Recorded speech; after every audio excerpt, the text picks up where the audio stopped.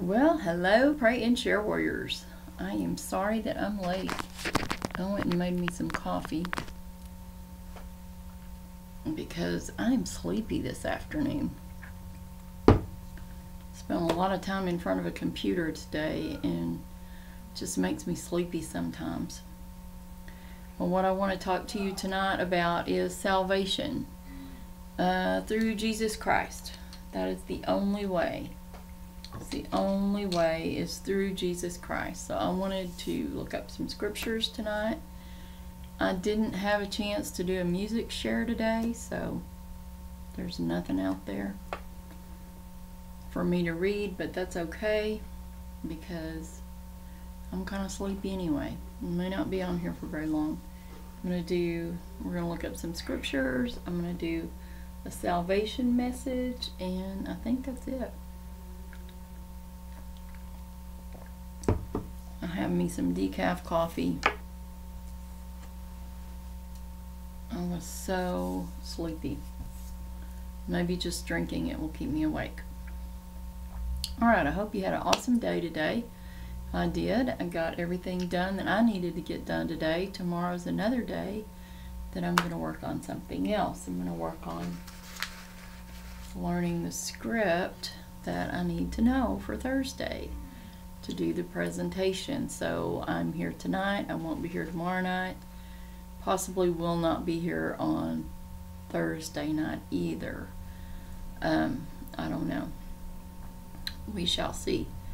Anyway, um, I'm going to jump into some prayer. God, we just thank you. We thank you, God, that you are on your throne and you are in control. We thank you that you love us, God. You loved us enough to send your Son to die for us, to offer us that salvation that everyone needs, God. We thank you that you are the great I am. You are the great Jehovah. You are our creator, our sustainer, our provider, our protector. You are our shelter in the storm, and you are our strength and our refuge. God, we pray for um, we thank you because you are mighty and magnificent and powerful, God. You are the righteous judge that will judge all unrighteousness, but yet you are loving and kind and compassionate. You're forgiving, you're faithful, God, and you're patient. You want none to perish, God. Thank you for loving us as your children. Thank you for calling us as your children. Uh, we love you with our whole heart, our soul, our mind, and our strength. Oh, I'm having some drainage problems here. Excuse me. Um, God, we cry out for the lost. We just pray that you would open their eyes and their ears to the truth, that you would allow the Holy Spirit to draw them to Jesus so that they could be saved. We pray for the prodigals to come home, God, for them to just see where they are, for them to return and repent and let you reconcile that relationship and make it just as good as new. We pray, God, for Florida as this um, tropical storm has turned into a hurricane, God. And now they're under a hurricane warning, God. We just pray that you would be with these people, God. That you would just protect them. That you would have them be prepared. That you would have them be in safe places, God that you would just put your hand of protection over them. They have been through so much, God. More bodies were found today, God, that will at least bring some um, some knowing to some of the families that have been missing their loved ones. God, that they know where they are and they're not having to wonder um, we just pray for these families, God. We just pray that you would give them peace, comfort, and strength. We pray for all the government officials, God, that you would be with them. We pray for the rescuers, God, that you would keep them safe, that you would, uh, God, bless them for the work that they're doing, that you would bless them, God. God, we just pray for all the volunteers also in so many different areas, God. We pray for them too. We praise you for them. We just pray that people have experienced the hands and feet of Jesus.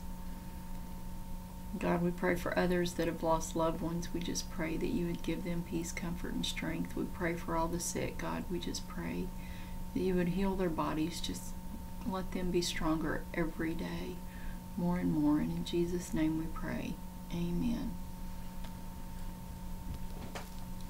All right, my pray and share warriors.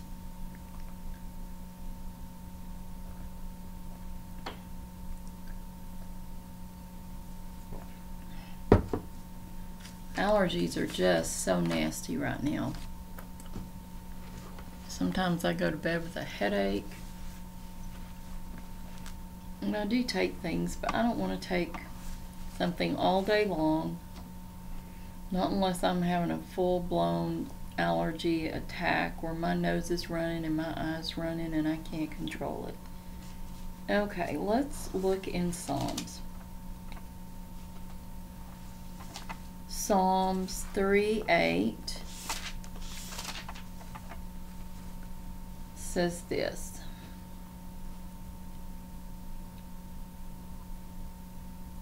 I think we'll just read all of it. This is a Psalm of David.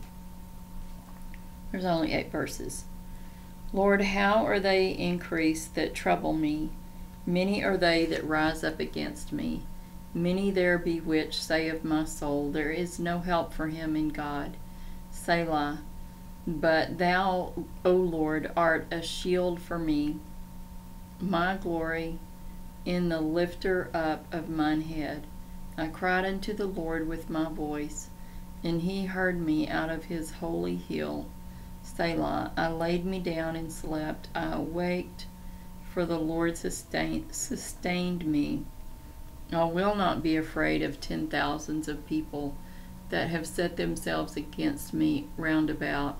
Arise, O Lord, save me, O my God, for thou hast smitten all mine enemies upon the cheekbone. Thou hast broken the teeth of the ungodly. Salvation belongeth unto the Lord. Thy blessing is upon thy people. Salvation belongeth to the Lord. So we can only get salvation through Jesus. He is the only way. I like David's Psalms. They're so good. Psalms 37 9. I don't know whether this is a King David one or not. Oh, it is. 37 9. For evil doers shall be cut off, but those that wait upon the Lord, they shall inherit the earth. Yeah, that's 37 9. Oops. I don't know why that does that. That is 37 9. I thought it said something about salvation. You know, sometimes if you look up a different um, a different version, you get a different word.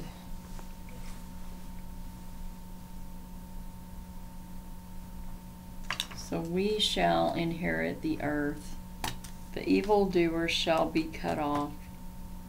And that is going to come to pass. It will come to pass. The evil the evil will be reckoned with unless unless they repent and unless they turn away from their evil ways. I'm not saying that no there are people that are beyond redemption because I don't know that. I don't know that, so I'm not going to say that. Okay, well let's look up uh, John 644.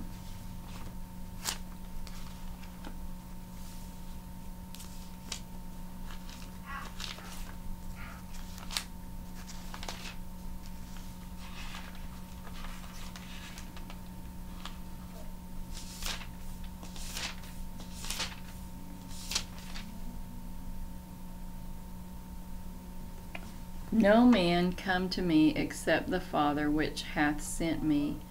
Draw him, and I will raise him up at the last day. So no man come to even Jesus unless the Father draws them to Jesus. So we can't just, we have to be drawn by the Holy Spirit. The Holy Spirit is who draws us to Jesus. So no man comes to Jesus except the no man can come to me except the Father which hath sent me draw him. So we have to be drawn by God to Jesus. So let's read Acts 4:12.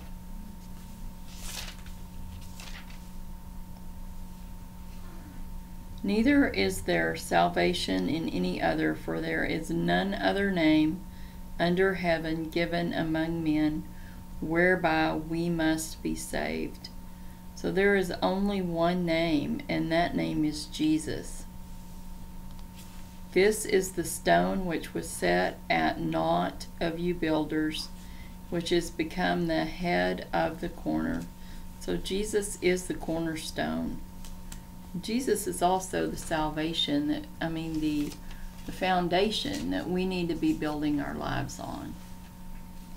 I have my Take This World and Give Me Jesus t shirt on. Building 429. I love Building 429. Okay, so let's read one more. Then we're going to look up some of the scriptures that are on this salvation invitation. I usually just read them. I'm going to look them up in the scripture. Okay.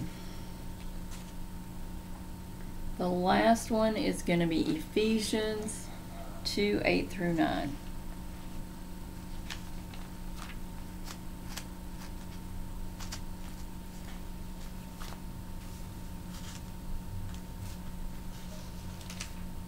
It's 2 8 through 9. For by grace are ye saved through faith, and that not of yourselves, it is the gift of God not of works, lest any man should boast. For we are his workmanship, created in Christ Jesus unto good works, which God hath before ordained that we should walk in them.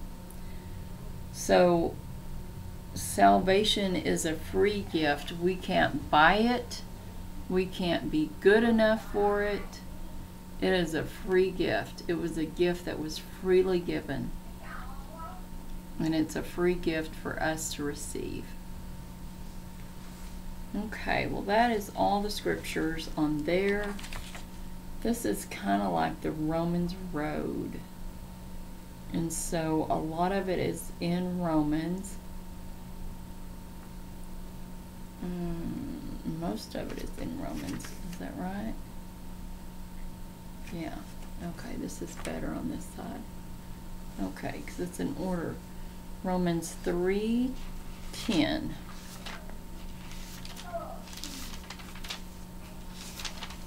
So Romans 3:10 says that as it is written there is none righteous no not one. So none of us are righteous. So when we come to Jesus, we are not righteous. We are not. And Romans 3:23 over on the next page. I'm going to read 22 also.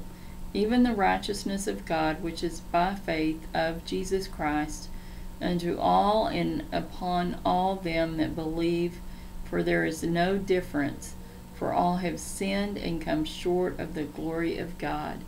We have all sinned and come short of the glory of God and uh, Romans 5 8. But God commendeth his love toward us in that while we were yet sinners, Christ died for us. He did. He died for us.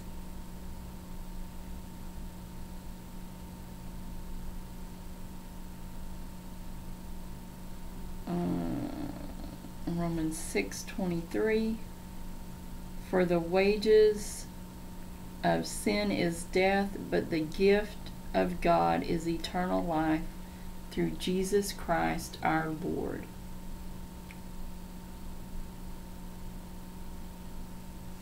And so then John 14 6. John 14 6. John 14 6 says, Jesus said, I am the way, the truth, and the life. No man cometh unto the Father but by me. If ye had known me, ye should have known my Father also, and from henceforth ye know him and have seen him. Okay, then back to Romans. Flipping back and forth. Sorry, my eye itches. Back to Romans. Romans 10, 9 through 11 says that if thou shalt confess with thy mouth that the Lord, the Lord Jesus, and shalt believe in thine heart that God hath raised him from the dead, thou shalt be saved. For with the heart man believeth unto righteousness, and with the mouth confession is made unto salvation. For the scripture saith, Whosoever believe on him, believeth on him, shall not be ashamed. So if we believe on Jesus, we are not ashamed. Okay, let's see. There's one more. 10 13, Romans 10 13. For whosoever shall call upon the name of the Lord shall be saved.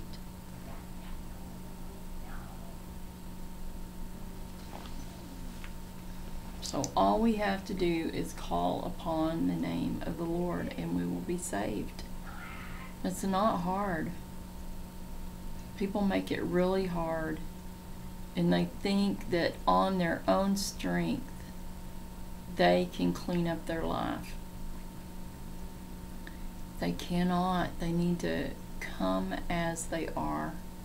Jesus wants us as we are. He doesn't want us to go and work on our lives and fail at trying to clean up our lives when He can do it supernaturally. He can remove the desires that we have that are sin.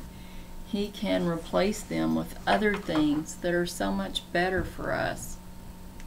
We have to trust Him. We have to accept salvation through Jesus Christ. That is what we have to do. We must do that. It is the best decision of your life that you can make is accepting Jesus as your Savior. I accepted Jesus when I was 31. And I am now 61. So I've only been a Christian for 30 years. This year, in May, May 14th, 91, was my date that I got saved. And um, I've been a Christian for 30 years now. I still do not know everything there is to know about the Bible. I have read the Bible cover to cover twice. Started it again on a, on the third time, but because of what happened while I was reading it through the second time, um, I kind of chickened out. But salvation is the most important decision that you can make in your life. And it does it does um, determine where you spend eternity. We're going to spend eternity in one of two places. We're going to spend eternity in heaven with God, Jesus, and the Holy Spirit, or we're going to spend eternity in hell with Satan and all of his demons. Oh, you have the angels too in heaven. So I prefer heaven. I know a lot of people that are in heaven that I want to see again. So I prefer heaven. When I decided to get saved, it was quite a decision because I could have gone back to how I used to do in my past. I already knew what was there. But I was at a crossroads and I needed to make a decision. And my decision also was going to impact my daughter. And so I chose, she was only six.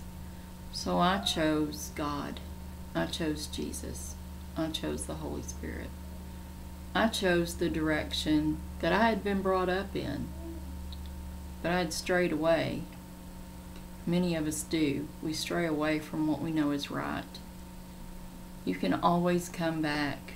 You can always come back. And if you have been saved and you have strayed away, then all you have to do is ask for forgiveness and ask for strength. And you are already back. And start walking in the ways of God and start uh, walking with Jesus. But if you've never accepted Jesus as your Savior, today is the day of salvation. Today. Because we don't know how much longer we have. Just look how crazy things are. Look at the level of hate that has permeated our cities. And I guess the country too. I mostly see it in the cities though. Look at the level of hate, the level of disrespect, the level of lies, the level of people not even believing in God, the level of blasphemy against God because they don't believe Him, they don't believe in Him, and so they blaspheme Him and His Son and the Holy Spirit in the most horrible ways that if they don't repent, it's going to really be bad for them. We have to have a respect for God. He created everything. I'm sorry, I'm losing my voice. Wow, that's hot. he created everything that you see everything that you don't see, every person that you see, that is a creation from Him. We do not have the right to disrespect others. We are called to love people. We are even called to love sinners. We don't have to love their sin because God does not love their sin. But we are called to love people. We are called to love all people no matter what. No matter what they've done, we are called to have a level of love that comes through having Jesus in our hearts. It's it's the love of Jesus is what it is. Because on our own, we are not capable. But have you been invited into God's heaven to receive this salvation? Have you been invited to receive salvation through Jesus Christ. Because once we're saved, heaven is our final destination. It's a free gift. We can't buy it. We can't be good enough. So this is God's invitation to his heaven because heaven is not mine. It belongs to God. He created it. So, have you ever been invited? The time is now to respond to his invitation. Repent and turn to the one true God. Okay, we read all the scriptures. We read Romans 3:10. We read Romans 3:23. We read Romans 5 8. We read Romans 6.23. We read John 14 6. We read Romans 10 9 through 11. And we read Romans 10 through 13. For whosoever shall call upon the name of the Lord shall be saved. And that's Romans 10 13. So back behind me there's a picture of the New Jerusalem. What John saw, what John saw in Revelation. So when John saw the holy city, New Jerusalem, coming down from God out of heaven, prepared as a bride adorned for her husband. And I heard a great voice out of heaven saying, Behold, the tabernacle of God is with men, and he will dwell with them, and they shall be his people. And God himself shall be with them, and be their God. Revelation 21 2 through 3. So that's what John saw. What an exciting thing to see. I can't imagine how great that would be to see that.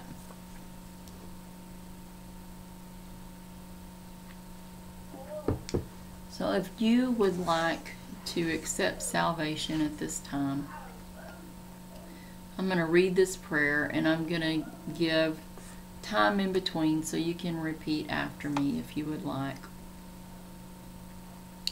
Dear Lord Jesus, I believe that I am a sinner. Please forgive me. I admit. Dear Lord Jesus, I admit that I am a sinner. Please forgive me.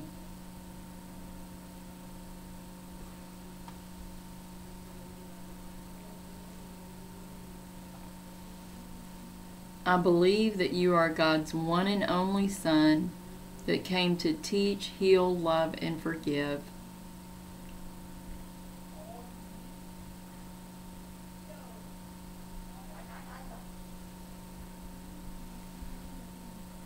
You died on the cross for all sinners. You rose from the tomb on the third day. You ascended into heaven, and you will come back to usher your church into heaven.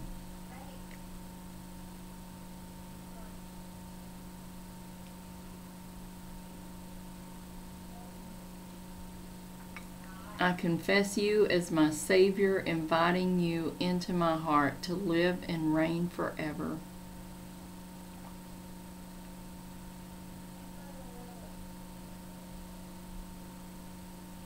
Thank you for the gift of salvation.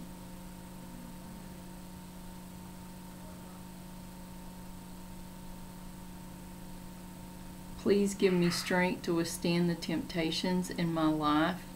Help me to praise and glorify you daily, and help me grow in my relationship with you daily through Bible study and prayer.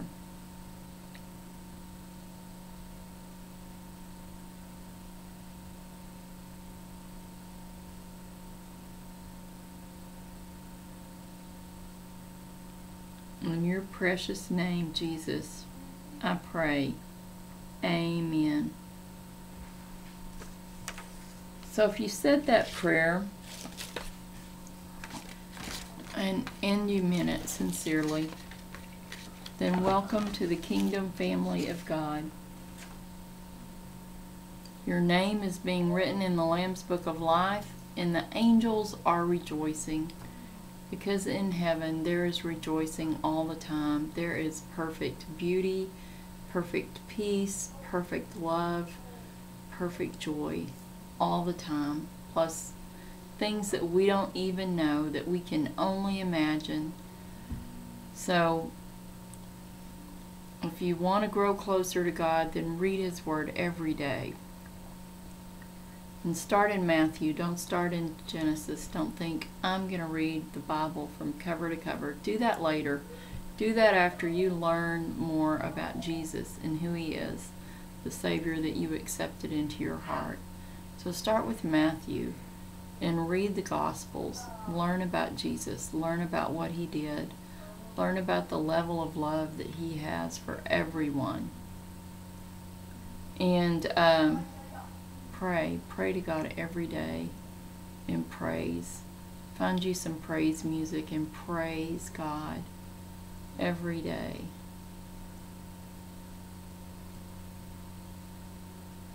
Okay.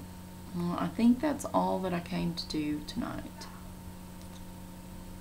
I did scripture. I did more scripture. I did a salvation message. So I think it's time to give you God's blessing and bid you good night tonight. So in Numbers 6 24 through 26, the Lord bless thee and keep thee. The Lord make his face shine upon thee and be gracious unto thee. The Lord lift up his countenance upon thee and give thee peace. I wish you all peace. I wish you all joy. I wish you all love. We have got to love one another. We need unity in our country, we need unity in the world, and we need to unify under Jesus. Under the banner of Jesus is where we need to unify. So I am uh, going to pray. I'm going to pray. I'm going to pray. Got to do a presentation on Thursday. I probably need to learn, need to practice not as much slang words. That's what I use a lot. All right, well, let's pray. Let us pray. God, we just come to you and we are so thankful, God. We're so thankful that we have you. We're so thankful that you loved us enough to send Jesus to die for us, God. We're so thankful for salvation, God. We're so thankful for the opportunity, God, to love others through the love of Jesus, to be the hands and feet of Jesus, God. God, we just, we again pray for people that do not know Jesus as their Savior, God. We just pray the Holy Spirit would draw them to Jesus so they can be saved. God, we just pray that you would help us to go out boldly to share your truth and to share the gospel of Jesus every day, God. We just pray that you would um, be with all my friends that are sick, God. I have many, and you know who they are. You know who you've laid on my heart. I just pray for healing for them. I pray that you would be with them and that they would feel your presence and that you would be with their families also, God. I just pray for all my friends that you would give them protection and provision and blessings. I pray for their family members, God, the same for them. I pray for my family and my family members, God, that you would protect them, provide for them, and bless them. God, you are so good about blessing us with wonderful people in our lives. God, we just thank you. I pray for our youth. I pray that they would seek you every day through your word, through prayer, and through praise, God, that you would draw them closer and closer to you every day so that their relationship will just get better and better every day. And God, we we just are in awe of who you are, God. And we are in awe of the Savior that you gave us, God. And we are in awe of the Holy Spirit and how He moves in our lives, God. And how He works in our lives. We are just in awe, God. And in Jesus' name we pray. Amen. All right, my friends, my pray and share warriors. I hope you have an awesome rest of your evening and an awesome tomorrow. Tomorrow's Wednesday. I have youth, so I won't be here tomorrow night. I will be with the youth. I'll be singing and I'll be teaching and I'll be learning because even as leaders, we are learning all the time. We learn from each other, we learn from the Word we read something that we haven't read like that before. It's a constant learning. When you're a Christian, you don't ever stop learning. You're constantly learning. God is constantly teaching us things. And I'm so thankful. I'm so thankful. So, much love. And cyber hugs till I see you again. Good night.